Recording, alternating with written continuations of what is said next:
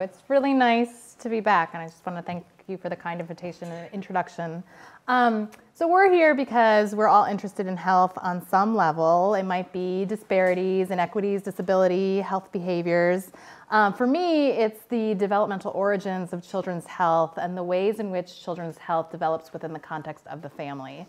So when some, when a child has some sort of condition or illness, it doesn't just happen to that child, it happens to the entire families. And I think we can all agree that families in turn are one of the strongest influences of, of health in early childhood. So what I'm going to talk about today is fathers as being an important part of that family system. And I'm going to present some of my research that demonstrates how their involvement impacts the overall welfare of mothers and children. Um, I'm going to put all of this in the context of a well-known maternal and child health paradigm, which is the life course approach. And I found that very useful when I've been investigating these issues um, since I started doing research. I just, before I begin with all of that, I want to take just a moment to acknowledge the diversity of fathering. Most children in the US have a father, whether he's currently residing with them or living separately. Some children have a single father or two parents who are both fathers. Children in blended families might have a residential stepfather and a biological father who lives outside of the home. And some children don't have a male figure involved in their parenting um, in raising them at all. So in other words, I just want to say that I know that there are many different types of families and ranges of household compositions and experiences of children in the US. When I talk about dads and fathers today, I'm referring really broadly to the male or males um, who are most involved in the caregiving and committed to the children's well-being, regardless of their living situation or their biological status, their marital relationship or custody of the kids. Um, in, in the cases where I present work on a more narrow range of fathers, I will make that disclaimer at the time. But I just want to acknowledge that um, I realize that this doesn't speak to the full ranges of experiences of, of, children in the US. But I think that engaging fathers and young men in family health is a topic that's of great concern to the maternal child health and family well-being community. And I hope my talk today sort of piques your interests and helps inform your, your research in the area. So before I talk about the importance of fathers, I want to spend a moment giving a brief um, overview of my educational background because some of the unique experiences I've had pretty early on inform a lot of the work that I do today. Um, as mentioned, I began my educational career at Indiana University where I earned a Bachelor's of Science in Public Affairs. My first job after college was as a Medicaid case manager at a community hospital in Indianapolis, Indiana. In this role, I helped uninsured patients enroll in Medicaid. So basically, a uh, patient would come to the hospital with no insurance, and I would go to them with um, a flag would enter the system, and I would show up with a Medicaid application and a list of services to connect the patient with resources in the community. This experience was really transformative for me because it opened my eyes to the various needs of patients who are seeking medical care. I saw that these patients were in need of health care, obviously, but they also were affected by stress, financial burden. They lived in unsafe neighborhoods. They needed jobs, safe housing, childcare. Um, and I realized that these factors in health are very interrelated. And importantly, I recognized that improving individual health would require an integration of services beyond the healthcare system. Um, so I ultimately, this experience led me to pursue a master's degree in public affairs from the University of Wisconsin at La Follette, um, where I focused on healthcare policy and vulnerable populations. I was really interested in mental health amongst recently incarcerated individuals and the recidivism that happens sometimes as a result of not being able to have access to appropriate mental health care. Um, I then decided to continue my studies at UW with a PhD in population health sciences, which provided me with training in epidemiology, biostatistics, and public health. And there I focused on social um, and life course determinants. I finished that degree in 2013, and I was accepted into the Harvard Pediatric Health Services Research Fellowship. Um, during this time, I, in, I, started integrating my health policy background and training into um, health services. And so how, how can we improve health services as a way to address some of these issues? In 2015, I accepted a tenure track faculty appointment at the Indiana University School of Medicine within the section of children's health research. So when I'm looking at this trajectory, there's a couple moments that really jump out at me as being really um, influential to what I'm doing now. And one of these moments happened when I was here, so I just want to talk about it for a second. I was a master's student. It really changed the course of my career, and it drove me to do um, into a research career as opposed to a policy career. Because up until that point, I wanted to go to Washington, I wanted to write policy, I wanted to be a lobbyist, an advocate. Um, and then you know, something switched and I decided that I would rather do research. So it was in the spring of 2009. I was here. I was a master's student. Um, I was doing, I was interested in healthcare for vulnerable populations, and I went to a seminar on social justice. One of the speakers was Chris Coe from the Institute of Aging, who I'm sure some of you at least know. He um, is heavily involved in primate research here on campus. So his presentation, if you remember, this was a social justice conference. Um, it was about rhesus macaque monkeys. So here's a picture of a couple of rhesus macaque monkeys. And it was specifically about a trial he led that randomized pregnant monkeys to either a controlled water schedule, so only drinking water, or a daily ration of apple juice, a few liquid ounces per day, not very much, in addition to their usual diet. So water or water plus apple juice. Um, so the monkeys were given these liquids throughout the course of their pregnancy. When the monkeys gave birth, uh, Dr. Coe and his team offered the baby monkeys the choice of drinking either water or apple juice.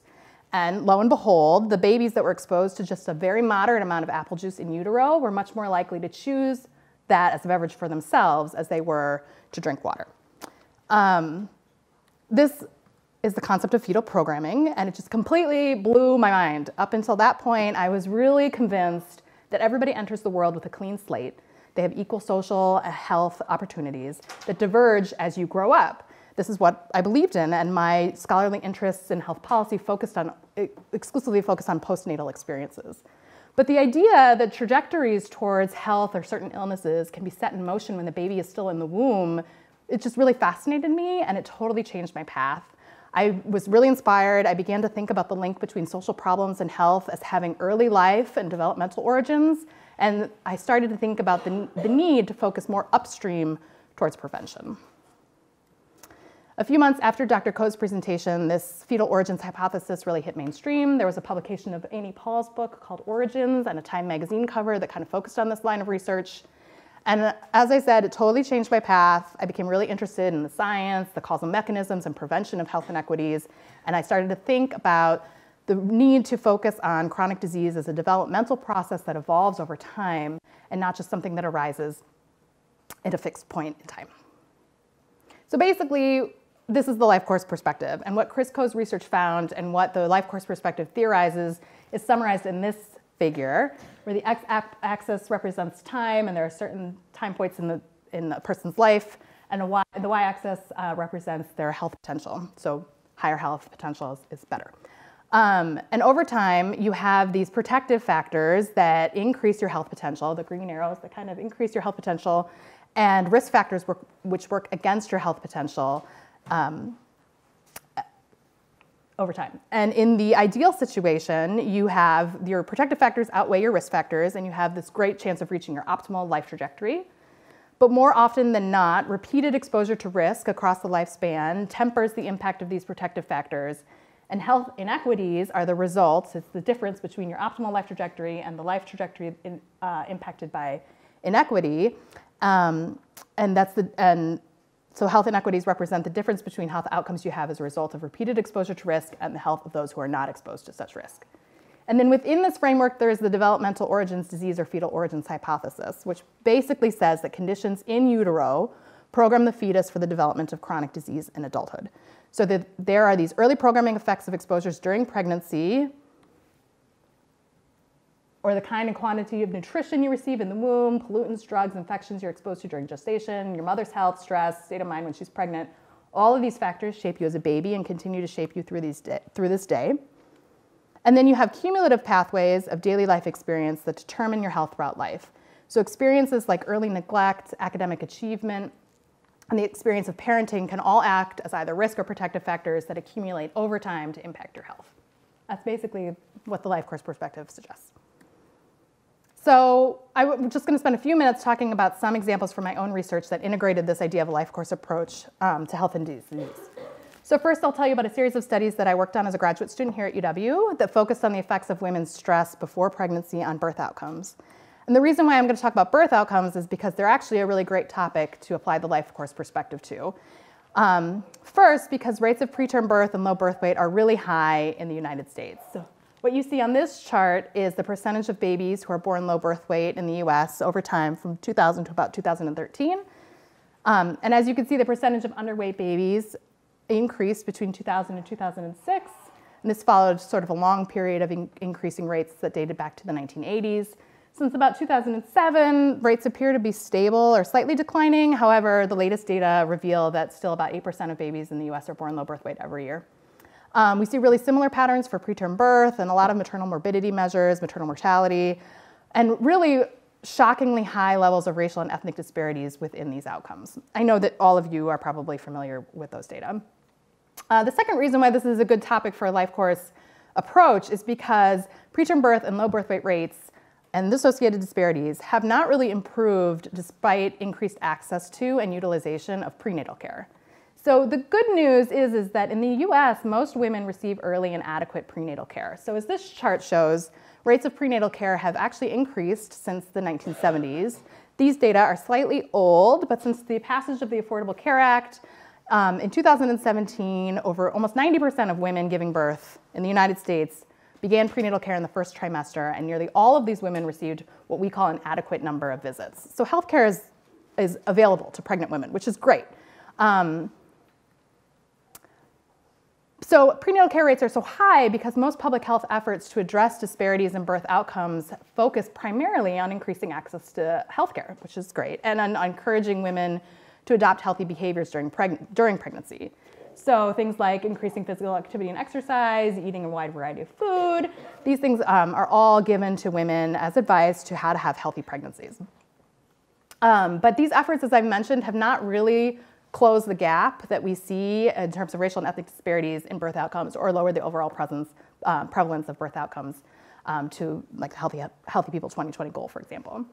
So if you think about this from a life course perspective, the reason why we still see such high rates of poor outcomes is because disparities um, are the consequences of differential exposure to risk and protective factors that occur not only during pregnancy, but across the entire lifespan of women. So eliminating these disparities will require interventions that are more longitudinally focused. And what I mean by that is that most research on risk factors for disparities, and even in traditional healthcare delivery, one developmental stage of life often gets disconnected from the next. So in perinatal health, we focus so much on the events occurring in the nine months of pregnancy that we forget about all the other life course periods that might be relevant to women's health. So many of us can agree that to expect prenatal care in less than nine months to reverse the cumulative disadvantage that women, that women face over their lifespan might be expecting a little too much of prenatal care. So if we're serious about thinking about improving outcomes and reducing disparities, we have to start taking care of women and families, not only during pregnancy, but before pregnancy and between their pregnancies, and indeed across their entire life course. So as a graduate student here, uh, I, was I was interested in this topic. I was really fueled by Chris Coe's research, and I began on a series of studies about the impact of exposures during the preconception period, so prior to pregnancy, on pregnancy outcomes. Uh, we looked at stress as a potentially um, salient risk factor for women during this time frame, in part because there's strong evidence to show that stress during pregnancy is a risk factor for poor birth outcomes. So we hypothesized that women who experience stress before their pregnancies um, would have a greater likelihood of experiencing a poor pregnancy outcome than if women hadn't experienced stress. Uh, we examined data from the Early Childhood Longitudinal Study birth cohort, which is the only longitudinal birth cohort in the United States. Um, the data collection started in 2001, and um, the data were collected over four study waves lasting until the children were, about, were entering school past kindergarten age. So from this data set, we examined over 9,300 live births, which uh, this was a weighted national sample, so it was about 3.7 million births in the weighted sample. Our primary independent variable was exposure to stressful life events prior to conception, which we conceptualized as the death of the respondent's parent, spouse, previous live-born child, divorce or separation from their partner, or fertility problems that occurred anytime prior to the date of conception, which we determined from the birth certificate data. And we found in this nationally representative sample that almost 20% of women reported experiencing at least one of these events prior to their pregnancies. And when compared with the population of women who did not experience these events, these, were more, these women were more likely to deliver infants that were smaller and who were born early. These effects were statistically significant after controlling for stress experienced during pregnancy, as well as maternal demographic characteristics, um, pregnancy risks, and family socioeconomic factors. So these studies provided evidence that the period before conception might be a sensitive period uh, with ramifications for pregnancy and infant outcomes.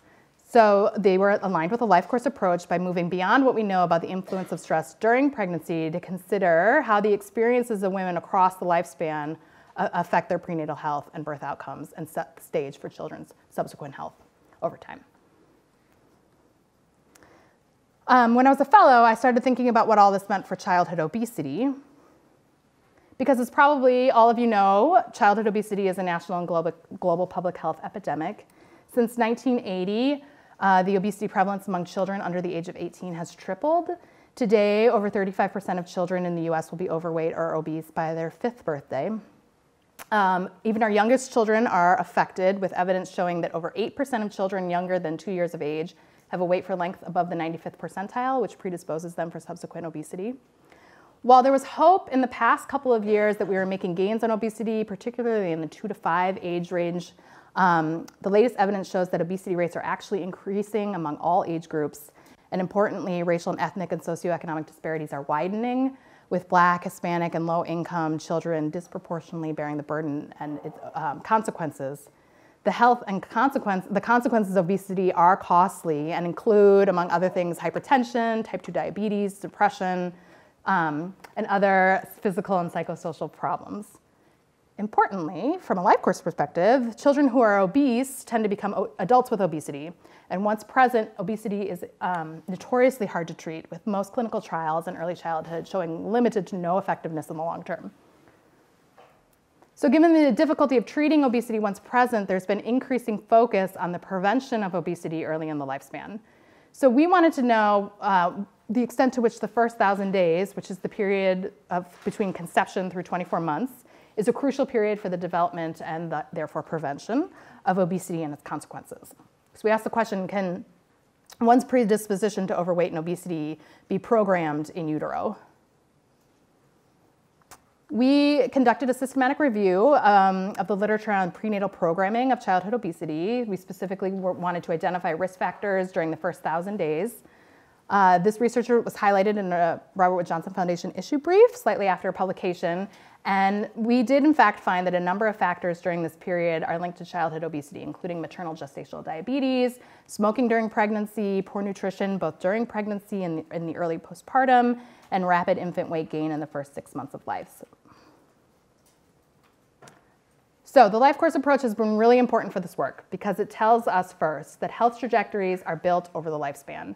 So in other words, health is not something that's fixed in time, it's something that arises from a continuum of exposures, experiences, and interactions.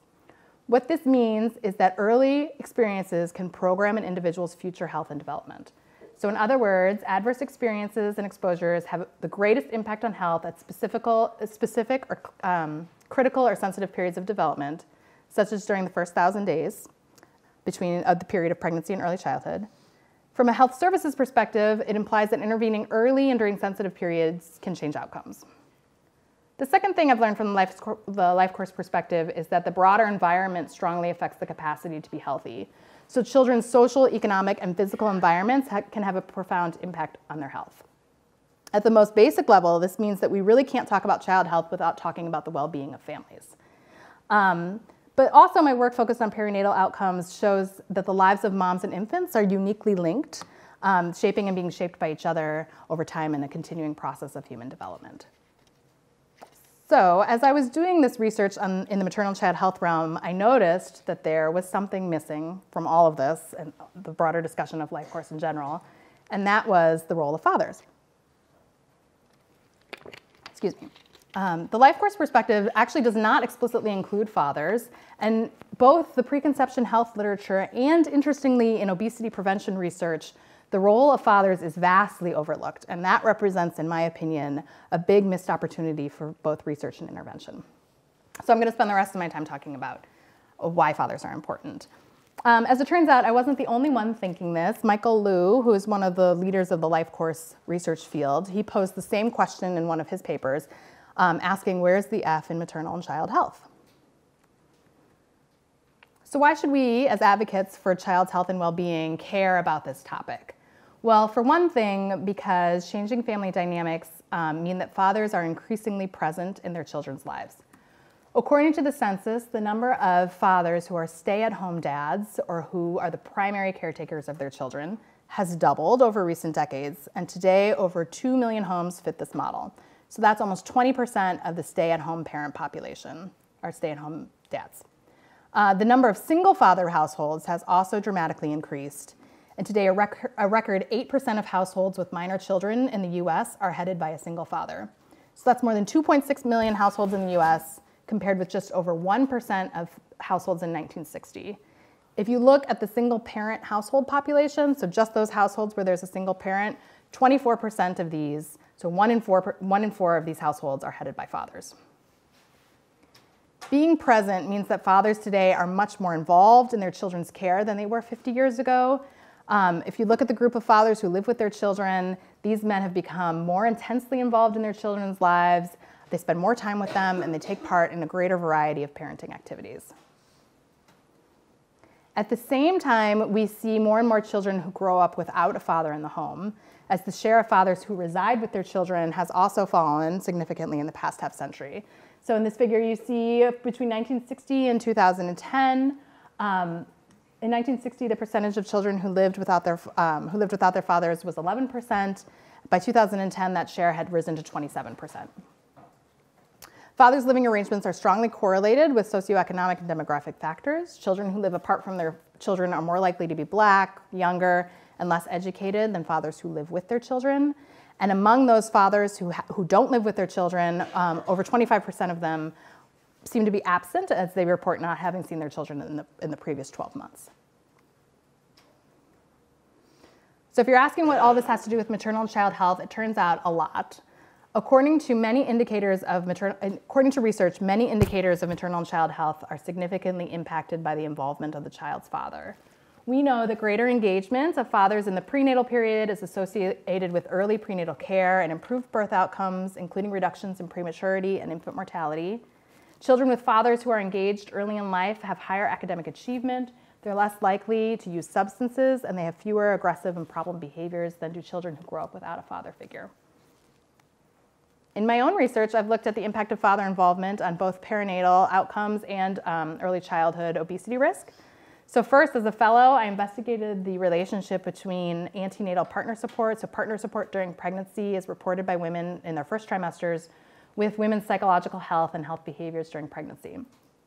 So for this study, we examined data on over 1,700 women participating in Project Viva, which is a pre-birth cohort of mothers and their children residing in Massachusetts, in Boston, Massachusetts. Um, Project Viva recruited participants during their first prenatal visit and has followed them and their children um, for over 12 years. The main exposure in this study was partner support that was assessed during the first trimester using a scale that asked mothers to report about anticipated financial assistance, affection, emotional support, and caretaking responsibilities um, once the baby was born.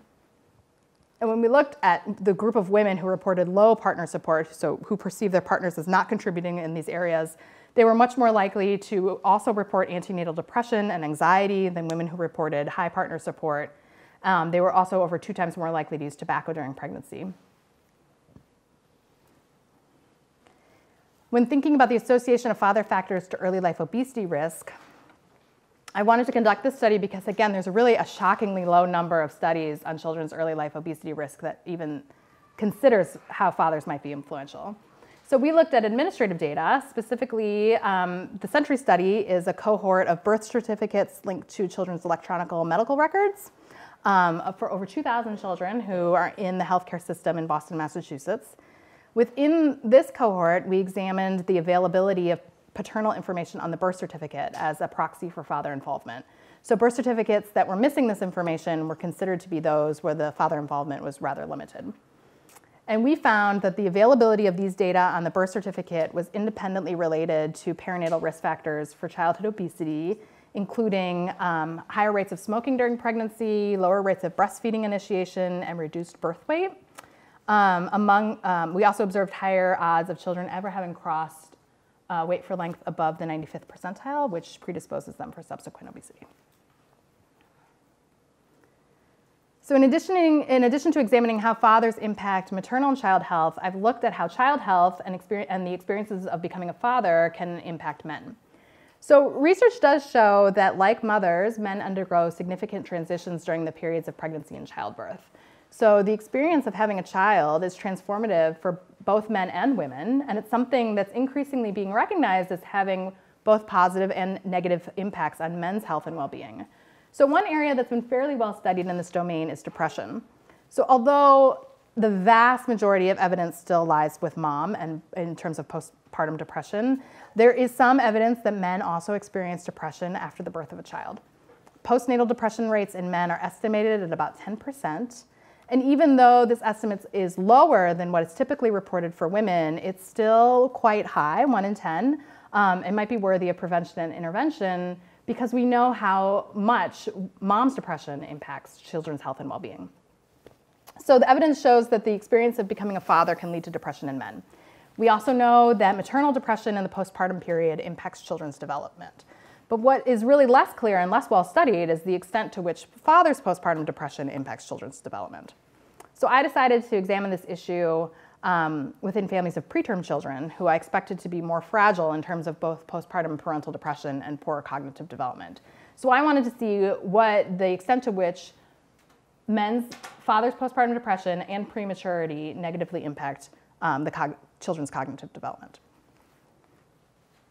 So I looked at data from the first two waves of the early, ch early childhood longitudinal study birth cohort, that same longitudinal birth co cohort we looked at before. Uh, we use the first, we used families that participated in the first two waves. So uh, responses from the mother, the biological father, resident or non-resident, um, and the children. Within this cohort, 76, 78.6% were married heterosexual couples at baseline, which was at nine months.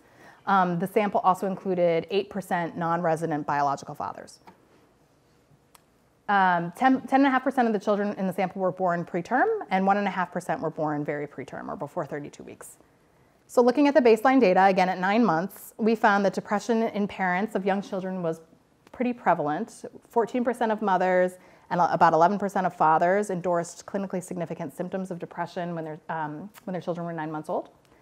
We saw even higher rates of depression among fathers of children born preterm. 20, 25% of fathers of preterm infants um, reported depression, and non-resident biological fathers were also very vulnerable, almost 30% of the non-resident biological dads. We then looked at the impact of children's preterm status and, these depression, and their parents' depression on their cognitive function at 24 months of age. So prematurity, parental depression at nine months, on cognitive function at 24 months. Um, our outcome of interest was a cognitive um, developmental scale called the Bayley scales, of, or, called the Bayley short form, which was a short form of the Bayley scales of infant development, which is a well-validated scale for cognitive development in this age group. Um, so in our multivariable model, we first regressed preterm status on children's cognitive scores. And we saw the same thing as many others have found in this population, that being that children born preterm have lower cognitive function than children born at term, and this is even two years after birth. Um, then we added in parental depression scores, and there was not an attenuation of this effect. So instead of seeing, um, so rather the effect of children's preterm status on their cognitive functions seemed to operate completely independently of their parents' mental health. But what we did see in this model was evidence that parental depressive symptoms in both moms and dads was prospectively associated with lower cognitive function in their children. So while we expected this from mothers, and it supports a lot of the existing literature on this topic, what was interesting here was the independent effect of fathers' postpartum depressive symptoms on later cognitive outcomes for their children. So on the final model, after we adjusted for covariates, the impact of maternal depression was completely attenuated. Um, but father's depression still remained a significant predictor. So although the effect size here is pretty small, it was highly statistic statistically significant. And I think that tells us that father's depression really does matter for children's early cognitive development. And given that 10% of fathers experience postpartum depression, early childhood may be a critical period for intervention for both men and their children. So these studies demonstrate the importance of fathers to several, several perinatal outcomes in early maternal child health. Importantly, they also show that fatherhood affects men. Uh, the implication here is that fathers might be a potential target for interventions to improve perinatal and early childhood health outcomes, but it also suggests a need to recognize, men, recognize men's health in the postpartum period. So in thinking about depression, there's been a ton of research paid to the identification and treatment of depression in new mothers and the importance of doing so, but little evidence documents, documents the frequency of efforts to address depression or other health problems among new fathers. Um, Moreover, I think despite the importance of father's involvement to maternal and child health, there's a lack of existing research on how to increase and improve a father's involvement with his child. So right now, I'm a pediatric health services researcher, and I think about how to target fathers within healthcare settings as a strategy to improve children's health. Uh, the healthcare setting is a key channel for, um, for health promotion, but it's not one that's always thought of as being father-friendly. And even though many maternal and child health programs advocate for a family-centered approach to care, the explicit focus in terms of prenatal, postnatal, and pediatric care is to provide access to comprehensive services for mothers and their children. I think this, again, is a big missed opportunity to improve children's health.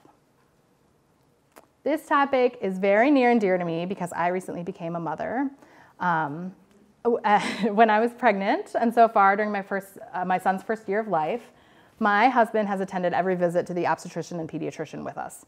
Um, during pregnancy, the nurses were always so surprised that he was with me, and they would say, "Wow, it's like it's so great to have Dad here." It just really threw him off. Um, but my husband's participation in this area was not something that we explicitly discussed, other than me saying, you know, we have an OBGYN appointment tomorrow, and him saying, like, okay, I'll pick you up, or I'll meet you there. And from the minute our son was born, I expected him to join me in these efforts as part of a parenting team, along with changing his share of the diapers and getting up with me in the wee hours of the night. Um, but what I've noticed at these doctor visits, both during pregnancy and now as a pediatrician, I will say I love my pediatrician, is that most medical professionals, they will acknowledge my, hus my husband's presence, but they direct their questions and comments about our son to me. Um, on rare occasions, when they do include him in the conversation, they talk about ways for him to encourage mom or to help out, um, as though he's just an extra hand. And it's frustrating that we rarely, if ever, receive information about the critical role that he as a father can play in advancing our son's well-being. And I see a lot of smiles in the audience, which means that other people have experienced this as well. I know it's not, there's a lot of young students in here who are not experienced in this area, but for those of us that are parents, I don't think that this is an isolated thing that only happens in Indianapolis. I think this is something that um, is sort of systemic across, across the US. So obviously, I think it's important to not only recognize the unique contributions of fathers to healthy children development, but to encourage healthcare professionals to make an extra effort to support and involve them more often. So I started thinking about this topic actually a few years before I became pregnant when I was a health services research fellow. As you recall, my graduate training was mostly epidemiolo epidemiological in focus. So fellowship was this major um, shift in environment. Obviously, Boston was very culturally different from Madison, but also professionally, I was surrounded entirely by physician scientists. And this environment really showed me and opened the door to doing health services and to think more broadly about fathers in healthcare settings that matter for children. Um, and those would be obstetrics and pediatrics.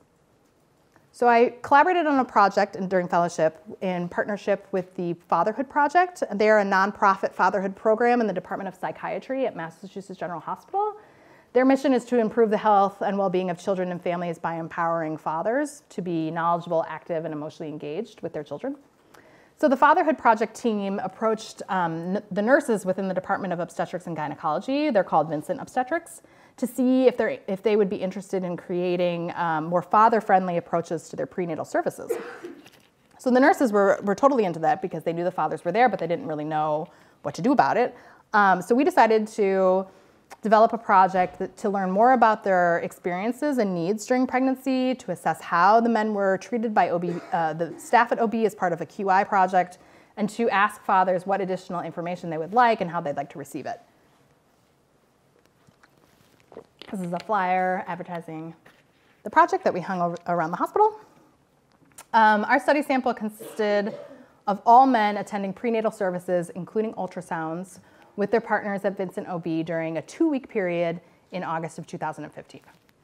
Um, as men were sitting in the waiting room, they were approached by a study RA, and they were told about the study. If they agreed to participate, they were, participate, they were handed an iPad to complete a survey in two parts. The first part of the survey while they were in the waiting room to ask them about their experiences and what they were thinking about in terms of fatherhood. And then when they were checking out, they were handed the iPad again to answer a few more questions about their experience during the visit. Um, so we approached over 500 men, and 85% of them were willing to take the survey. So I just want to comment on that. Um, first of all, I think you know sometimes people think that research among fathers and men they might be kind of a harder population to reach. We found not only were there over 500 men in this healthcare setting in a two week period, which is high. I mean, it's a busy obstetrical practice, but the fathers are there. They're particularly there for the first ultrasound. They, and we also found that they had a lot to say. 85% of them, and this was in English only, so uh, there were some exclusions made for men who couldn't uh, answer the questions in English, but they were completely willing to participate and engaged in the study. Um, so what we found in the first part of the survey, these men indicated that becoming a father um, is stressful. 56% of them agreed that becoming a father, that agreed with the comment, becoming a father is stressful. And 26% of them reported symptoms of depression.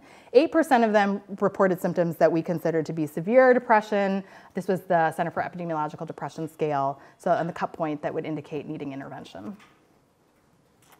Um, yet these men also were full of optimism and joy. Almost all of the fathers said that they were excited to be fathers, so they're simultaneously feeling excitement and stress. Um, they felt confident in their abilities to be fathers. They came to almost all or most of the prenatal visits. They planned to be in the delivery room at birth, which we know is a strong indication of subsequent involvement. And they thought a lot and talked a lot about being a father with their partners. Um, they also indicated that they have unmet health needs of their own. So 96% of the fathers agreed that their health is important for the health of their infant. We literally asked, do you think that your health matters for the health of your child? And most of them agreed. At the same time, uh, we saw that 36% of them had not had a physical in the past year. That's not uncommon for men of childbearing age. 24%, as I mentioned, 26% of them had symptoms of depression. Over a fifth of the pregnancies were not planned or mistimed. 50% of these fathers were overweight, 17% had obesity, about a third drank alcohol more than four to six times a week, and 12% were drinking daily, and 6.5% of these fathers were smokers. When you looked at the group of fathers who were uninsured or who were Medicaid eligible, these rates were even higher. These health needs were even more evident. Um, 36% of these men indicated that they wanted more information about being a father or pregnancy's impact on men.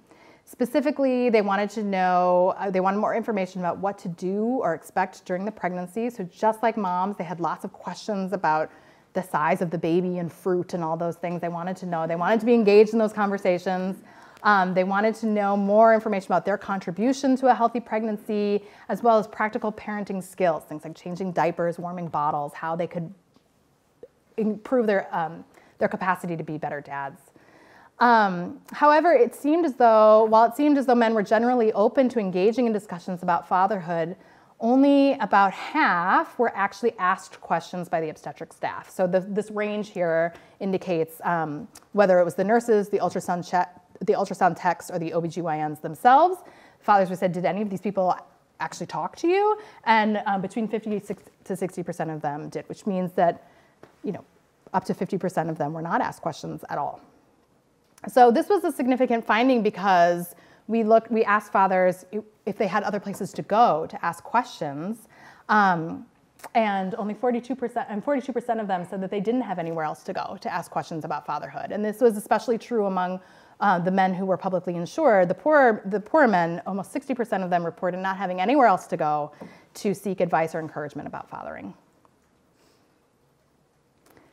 I think this part was an interesting response because there are, in fact, a lot of fatherhood initiatives. Um, but these entities, while they are essential to promote men's health, they are typically siloed from maternal and child health initiatives that focus on women and children. So most programs aimed at helping parents focus on moms, where there's only a few programs that actively seek father participation. So I wanted to think about how we might change that. And when I went to Indiana, I um, reached out to the Indiana Nurse Family Partnership Program who, um, to see if they'd be interested in engaging fathers in some of their home visiting initiatives. The Indiana Nurse Family Partnership is an evidence-based community health home visiting program that partners low-income, Medicaid-eligible pregnant women with a registered nurse who delivers home visits throughout the child's second birthday. Um, so the women are enrolled in the first trimester of pregnancy and they receive ongoing care through 24 months postpartum. This is a national program that was first implemented over 40 years ago and has since been linked to numerous maternal and child health benefits. It's very evidence-based. Um, in Indiana, the program began in 2011 with funding from the Affordable Care Act. Um, since 2011, it's served almost 2,000 women, the majority of whom um, are young, unmarried, minority women. Like the vast majority of home visiting programs in the US, I think there are a few exceptions, um, but Indiana, the Indiana Nurse Family Partnership was developed explicitly to target pregnant women and mothers of young children as their primary clients. So fathers are not integrated into their programming at all. And I think, again, this is a group, that this is a captive audience. So I approached NFP to see whether they might be interested in implementing strategies to engage fathers in their services. Um, the director of NFP was really interested in this topic. So last year, we started to work together on a qualitative research project aimed to understand the experiences of fathers in the program. We recruited first time English speaking biological fathers whose partners are enrolled and active in the Nurse Family Partnership to complete an in person interview about their experiences. This is an ongoing project, so today I'm just presenting some really preliminary um, findings from these, the first 17 interviews.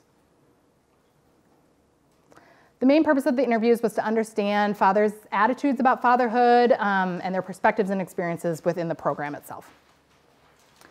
So in general, these interviews revealed first that fathers love their children and they desire to be good fathers. All of the fathers who participated in the interviews expressed these sentiments. Um, nevertheless, fathers' perspective of what constitutes an ideal father varied. Most fathers noted that an ideal father is someone who's there for their children, um, provides for them, and acts as a role model. This father said, It's exciting being someone's father. You're going to watch him grow, teach him things, help him become a man. But you don't want to make any small mistakes that can lead him down the wrong path, and you don't want to be not be in his life when he really needs you. So again, that role modeling. His father said, When I think about being a father, I think about all the dads that be running away. Growing up, I'd be like, what do they run away for? Because it's easy. What is being a father like? I don't know. It's just having someone rely on you like Superman. That's all. It's just unconditional love. They're going to love you regardless, up or down. When asked to describe what being a father meant to them, it was clear that being a father changes how men think about themselves. Men described a shift in priorities and responsibilities that accompanied becoming a father. His father said, Stuff changes. You can't only think about yourself anymore. Before it used to be like, quote, I don't need to buy that food right now because I can just wait until tomorrow or something. Or I'd spend all of my money in one weekend and just be like struggling the next weekend. But now it's different. I actually plan and try not to spend everything all at once because I will have stuff set up for my son because he needs food and he needs diapers and all that other stuff. This father said, I think of myself as kind of like grown man status now. I just think I got to do stuff differently. Things I used to do, I can't do no more. I want to do the right thing for my son and be there for him, like staying out of trouble, hanging around the right people, going to work, doing that type of thing. Since he came, it's like a change of direction. He's changed my life. I'm going to try to I'm trying to do better, be better for him. It was also clear from the interviews that fathers' ex- expectations and experiences of fatherhood were shaped by their own past experiences, most particularly their relationships with their own fathers. Um, so, for many fathers, when they said they wanted to be there, being there meant providing a positive example, and it meant breaking negative cycles from their pasts.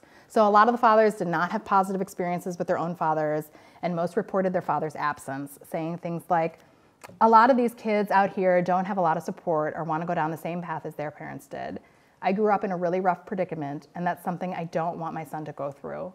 So it was more motivating for me to get my son on a better path than what I grew up with. And this is from an 18 year old father who actually had a lot of insight into thinking about the kind of father he wanted to be.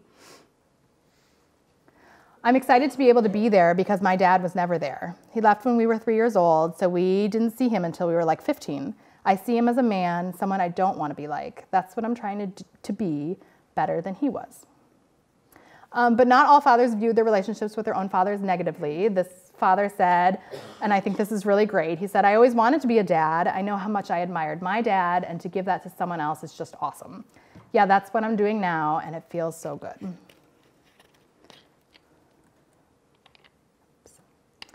Um, in terms of the nurse family partnership, fathers of newborns and infants, they valued the medical and developmental information their home visitors provided. Fathers expressed pride in the developmental milestones and achievements that their children reached through, the, through as a result of the home visitor, um, as a result of the nurse visiting. In general, fathers felt that the moms had a positive relationship with their home visitors. They saw their home visitors as trusted sources of information. So when asked about the nurse family partnership, one father said, the nurse family partnership definitely helped me a lot, learning all the basics up to continuing to learn how to take care of him and learning what milestones he should be reaching. It's definitely been very helpful. I think most people should be in a program like that, at least on their first child. So again, this kind of called back to the obstetrical study when we asked fathers what, what they wanted. They want practical parenting skills. They want to be hands-on and they want to know how to do that in the best way for their children. This father said, the nurse family partnership taught me how to interact with my child, how to help him, stuff I didn't know about that the nurse taught me. And I thought, oh, cool, I'm going to try that, or I'm going to do tummy time, tummy time, and skin to skin, and all that. It's just I didn't know about any of that. This father said the nurse family partnership has been essential on me getting serious about things. I haven't been totally alone in shaping who I am as a father. Knowing that there is a group of people who are actually willing to work and help fathers be better fathers, it's good. And this called back to the report that we had from a completely different setting, the obstetrical setting, where fathers were saying they didn't really have a lot of places or people to go to for support. Finally, fathers expressed interest in a variety of services that home visiting programs or other programs serving families could provide. So similar to what we found in our obstetrical study, fathers wanted practical information about how to care for their children. They want how to play, feed, burp, change diapers. They also wanted services that could help strengthen their relationships with the mothers of their children, which I think is really important, um, or to better provide for their families. Involving fathers in the nurse family partnership would be useful for fathers. It doesn't have to be overbearing. Dads want to be more involved, and being able to um, have a constructive conversation is a big part of it, especially when my wife and I aren't always going to agree, but we can always agree that we want what's best for our child, for our kids, sorry. This father said, the NFP is helpful for first generation immigrants like us because we don't have family in Indianapolis. When you don't have anybody around, that's when it's helpful to have somebody come in and tell you what you need to do. It's teaching my kid how to care too. Seeing this organization reach out to other families and their kids has given me life in a way, and when you grow up, you don't forget it, and then it's your turn to reach out to other people and do the same thing. They care for you, so it's your job to care for other people too. That's the message. So just to wrap this up, the life course perspective is increasingly being recognized for its value to understanding maternal and child health and health disparities. However, a huge omission from this research, from research using this approach has been the role of fathers as a critical part of the family system. I found in my life course research um, that when you apply the life course approach to understanding how fathers influence maternal and child health, um, they in fact make unique contributions.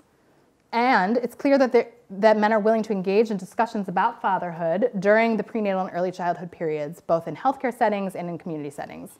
I think this points to an opportunity to improve family health by increasing father participation in these settings. That's it. Thank you.